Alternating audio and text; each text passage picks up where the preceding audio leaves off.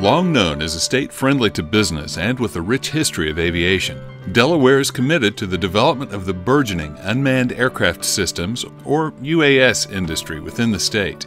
The Delaware UAS Task Force was established in 2015 and held its first official meeting in December of that year. The task force is made up of individuals representing a wide variety of interests from the government, academic, and private sectors, all with an interest in the growth and sustainability of safe and practical applications for drone aircraft. Its purpose is to establish and maintain a positive growth environment for the UAS industry in Delaware. Ultimately, the state hopes to establish a realistic incubator for new technology.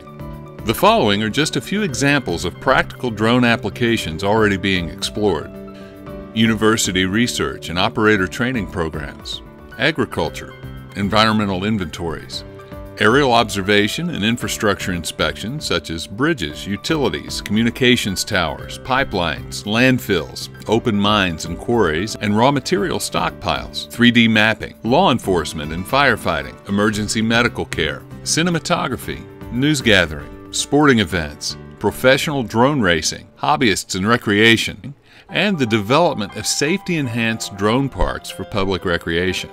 Delaware Technical Community College is at the forefront of developing meaningful UAS operator programs and understanding how drone aircraft will be used to enhance university research and various sectors of private industry. Delaware Tech's mission is to provide high quality programs, creating training and educational opportunities for students.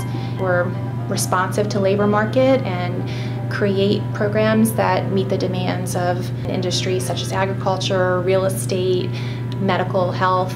Drones provide the government and private firms an economical tool for conducting environmental inventory data gathering and potential impacts on sensitive areas with unprecedented safety and protection for both the environmental assets as well as the human operators. They can save us a lot of money, they can make us more efficient, they can save lives in, in terms of not putting uh, humans in harm's way. DelDOT is trying to be a, a leader in that regard because we, we are currently evaluating uh, ways that, that drones can fit into our business model to, to make us more efficient, save the taxpayers money, and possibly save lives as well. There's incredible growth potential for the use of drones to provide affordable inspections for a wide array of essential infrastructure. A traditional bridge inspection can cost well over a half million dollars and place human inspectors at great risk for personal injury, while an unmanned aerial drone can accomplish the same task at a fraction of the cost and with greatly enhanced safety for the inspectors. The other two areas that are probably more in line with what Keystone's looking at doing is for inspection uh, of bridges, uh, cell phone towers, any kind of uh, infrastructure. People are not going to die using a drone to inspect the bridge. It's just not going to happen. They're inherently safer, and that's a huge benefit. Unmanned aircraft systems are being used to acquire three dimensional mapping data that is not financially feasible for traditional manned aircraft operations. For mapping for smaller areas where a manned aircraft was just way too expensive to fly, a drone may be a perfect alternative. Plus, you're also getting extremely high resolution, will be perfect for creating imagery, height models, 3D modeling, contours, and such. Countless applications are being developed to support law enforcement and firefighting activities, which will enhance public safety as well as the safety of personnel. Development of emergency medical care applications are underway, which cut the time of arrival and provide life saving emergency intervention until paramedics arrive and transport victims. News reporting and real time traffic reporting are already benefiting from affordable aerial information gathering. Filmmakers and videographers now have an unprecedented ability to safely acquire ultra high definition imagery at a budget friendly price point. It's believed that aerial drone coverage of sporting events will eventually replace traditional aerial camera platforms such as helicopters and blimps.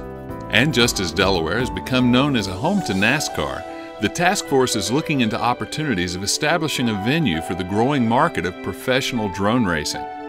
The task force is working to develop a strong public outreach, promoting safety among hobbyists and recreational operators. This also includes the possibility of developing parks specifically equipped and set aside for safe recreational drone operations.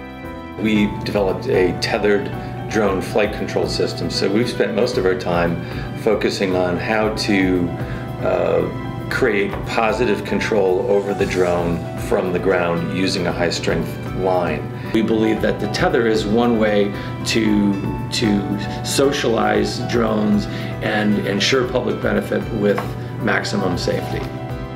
Ultimately, it is believed that Delaware's tradition as a business friendly location for corporate growth will lead to Delaware becoming an incubator for UAS design, development, and manufacturing.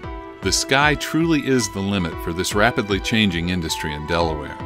For more information, please contact